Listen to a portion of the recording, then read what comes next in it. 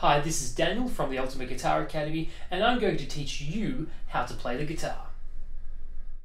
Okay, first off, we have three main types of guitars. This here is acoustic, but there are also electric and acoustic electric guitars. I usually call acoustic electrics semi-acoustic because it just makes things a bit easier. Even though these guitars are different, they actually still have mostly the same parts. This here is the body. We also have the neck and the head. I'll say those again. We had body, neck, and head. Over here we also have the bridge, strings, frets, and the tuning keys. I'll say those again as well. Bridge, strings, frets, and tuning keys. The strings are named after letters of the English alphabet. Starting from the very top here, we have E, A, D, G, B, E. Because that can be hard to remember, you can actually just assign words for each string. For example, Eddie ate dynamite, goodbye Eddie, where the first letter in each word is the letter for that string. Starting from the other end, you could actually number the strings 1, 2, 3, 4, 5, 6. The reason for this is the string down here is actually what we call our top or high or first string because it sounds the highest. This one all the way here is the sixth or low or bottom string because it sounds the lowest. They are both E, so we actually have two E's. We have the high E and the low E. I actually don't recommend using that system. I much prefer to go with the actual English letters for the strings. Earlier I was talking about frets. Now the fret itself is not the bar, it's the space between the bars. For example, this space here is the first fret, the next space is the second fret, the next is the third fret, and then we keep going. After three, we'll get four, five, six, seven, eight, and so on. You'll notice that we have dots. The only reason we have dots is to help us find those fret numbers really quickly. For example, if I think of a number like 17, it's right there. Now, I didn't have to count up, I know where the 17th fret dot is. When holding down the string, make sure you use the tip of your finger, that's right on the top. We want to keep fingers almost always nice and curly and keep our thumb up the top. For example, if I hold down a string, I am using the tip of my finger, it's very, very curly, and my thumb is up the top. We always want to keep our thumb pointing upwards. I remember that because guitar gets a thumbs up. So we never want our thumb to come out the front, and we never want it to point down at the ground down there. We always want it to be on the back of the guitar, pointing upwards. It doesn't necessarily have to hook on the top, though I find that quite comfortable, especially for beginner guitar playing.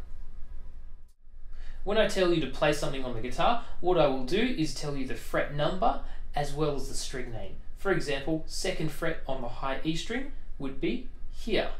And when you hold it down, top of your finger, curly finger, thumb nice and high.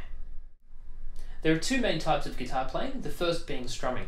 This is where we rest our elbow on the side of the guitar and our wrist moves up and down like so to create a strumming motion.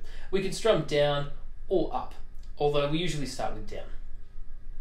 The, the pick itself should brush through the strings like this.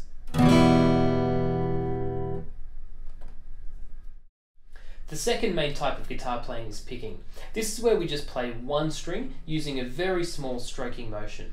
It's important to keep our hand either on the bridge of the guitar or just above the strings along the body of the guitar. This will maintain sufficient technique at all times. For many guitarists out there, their first song is Smoke on the Water, but I'm going to show you something a little bit different. We're going to try Billie Jean by Michael Jackson. Before we look at playing anything, I just want you to memorize four numbers for me. They are 2454. Think of it like a phone number 2454. Just don't actually call that. So, frets 2, 4, 5, 4. You'll notice fret 5 has a dot. And I'm going to play that on the high E string, which is this one down here. If I put it together,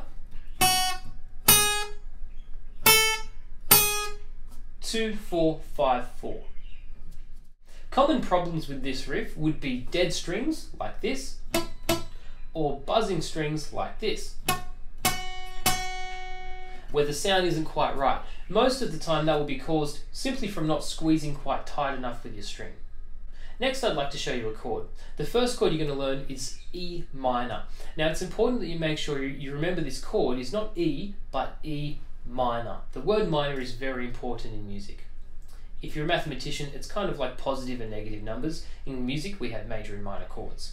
All I'm going to do is take these two fingers, like I'm saying peace man, go to the second fret and hold down at the same time the A and D strings. They are ate dynamite. If you think of Eddie ate dynamite, goodbye Eddie, A and D, which are here.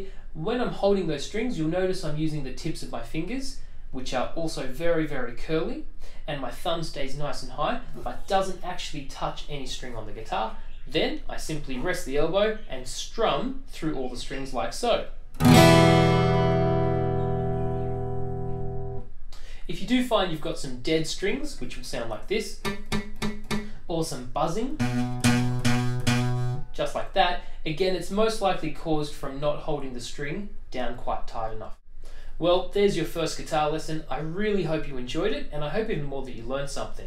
Now you should move along to video 2, where you can find some more songs and chords. If you have any questions or comments, or experience trouble learning some of the content from this video, please feel free to go over to ultimateguitaracademy.com.au, where you can contact me directly. Thanks for watching. Until next time, keep shredding.